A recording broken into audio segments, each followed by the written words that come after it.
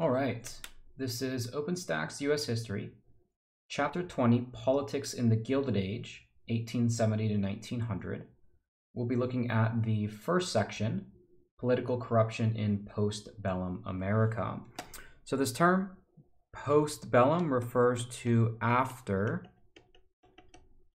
the Civil War. That's what that term means. Uh, you've probably come across this term antebellum. That means before the Civil War. So postbellum, antebellum, we're looking here at postbellum. That is the time period after the Civil War. So we've already come across this term, uh, Gilded Age, but in chapter 20, it is formally introduced. Uh, the Gilded Age was a term used to describe this particular period in American history, uh, 1870 to 1900. It was actually the title of a book which um, made fun of the political corruption that characterized the era. Uh, it was created by Mark Twain. So Mark Twain coined the term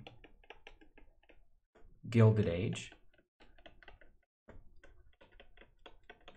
And for something to be gilded means that it's, you know, it's kind of like gold plated. That might be a, a good description of it. And during this period, of course, from the outside, America was booming. It was becoming a world industrial and military power. You have some of the richest people who had ever lived, Rockefeller, Carnegie. So there was certain, certainly this golden shell to it. But if you scratch beneath the surface, you realize that there's a lot of problems in American society. The violence going on in the South, the uh, the movements and migrations out west, the situation in the cities, et cetera, et cetera. So that's where that term comes from. Politically speaking, that's what we're going to be focusing on this chapter. The Gilded Age was characterized by weak presidents, and the kind of converse to that, or the opposite to that, means that there was a strong Congress and also strong political parties. Right? It was really the political parties and uh, the legislatures and Congress who were really making the decisions. The presidents were more like symbols. They really didn't have a lot of strength. And during this time period, you also had a very close um, electorate.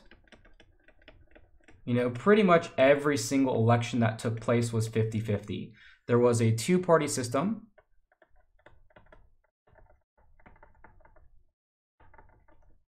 And that was the Democrats and Republicans. And for the most part, the Republicans were the party of the North, and the Democrats were the party of the South, for the most part, generally speaking. And, uh, you know, these two political parties were split 50 50 across the country. Every single presidential election was incredibly close in this uh, particular era. Uh, it's also true that there was high voter turnout, so something, somewhere along 80% voter turnout. So uh, people were incredibly involved in the political system at this particular time. Uh, because the Congress uh, Congress was strong, and because the political parties were also strong and for other reasons as well. Uh, business interests were highly influential in this particular period, but so too was graft, which is you know kickbacks. We might also call these uh, political kind of rewards. Bribery and corruption were also very much high. You know, the Gilded Age is especially known for political corruption. You can think of the way that a guy like John Rockefeller could influence, bribe, and really bully politicians, uh, so much so that the legislation and the laws that got passed really favored business interests more so than the people who democratically elected these uh, these politicians. And uh, the uh, the election or the presidential election that kind of sets it all off, really. And this is a, a kind of like a movement from the period of Reconstruction to the Gilded Age, at least politically speaking, uh, was the election of 1876. And that was because the president prior to Hayes, who becomes the president in 1876, was Ulysses S. Grant. And Grant was a uh, or had been the Union general during the Civil War. He was an American war hero, and a lot of his presidency was defined by Reconstruction. It's during uh, the presidency of Rutherford Hayes, or right before it actually, that Reconstruction comes to an end. And so this election of 1876 saw Hayes versus Tilden. Now, while Reconstruction was a big and central issue to this election, there were also other things at play. Of course, one thing that Ulysses Grant, or one thing that made Grant especially unpopular, was that he was incredibly corrupt. The Credit Mobilier of America scandal was one of the most infamous scandals of that time, and that happened on Grant's watch. You know, this had members of Congress inflating costs on the transcontinental continental railroad right so for example the reason why they would inflate costs they would say well the transcontinental railroad is going to cost $5 million when in reality maybe it only costs 1 million. And then of course these congressmen can just pocket the difference or hand it off to their friends as a graft as a kickback whatever it whatever it requires.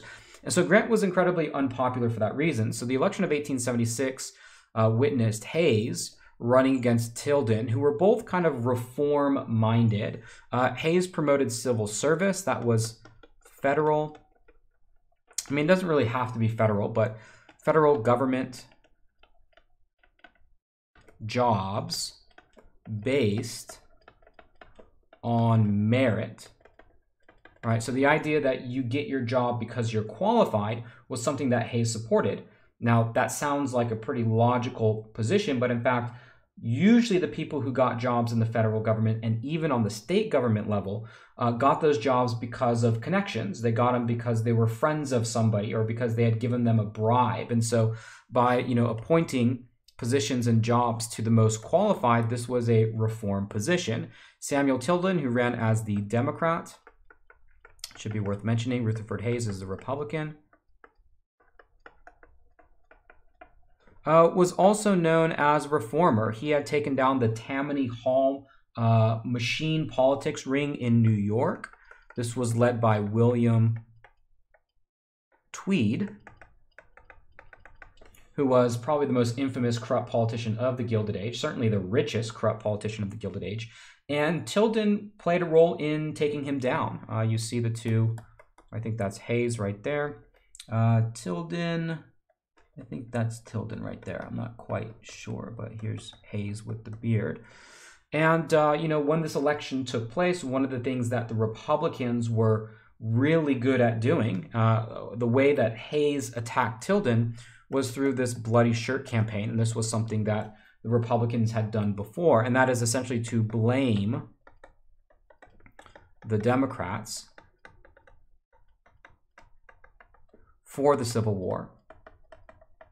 Know, the Civil War is very much fresh in the memory of everybody in the United States at this time. And most of those who seceded from the Union were part of the Democratic Party. So to blame them was a good way of gathering votes. However, there was political violence. This was especially true of the South, uh, especially in response to the 15th Amendment, which was universal male, and what we really mean by this is African Americans or blacks, suffrage. And we had talked about the Battle of Reconstruction previously. And so, one of the ways that um, some of the southern states were redeemed, that they flipped from Republican, the party of the North during the Civil War, to the Democratic Party, was through political violence. And the election of 1876 was no no different.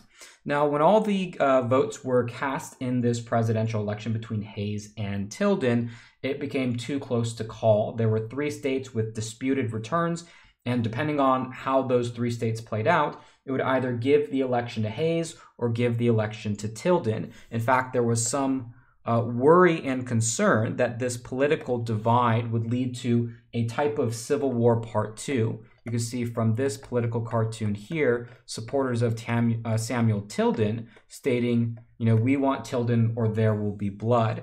And so both the Republicans and the Democrats set up a commission in order to find a compromise what they created was the Compromise of 1877, which of course ended Reconstruction. Right, ended Reconstruction, but was also known by Northerners and African Americans as the Great Betrayal, and that was really to give up the cause of Reconstruction. So this was uh, what Northerners and African Americans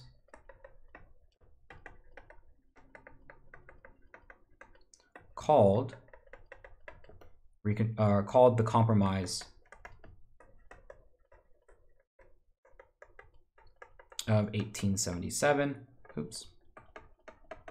Which, of course, was the ending of Reconstruction.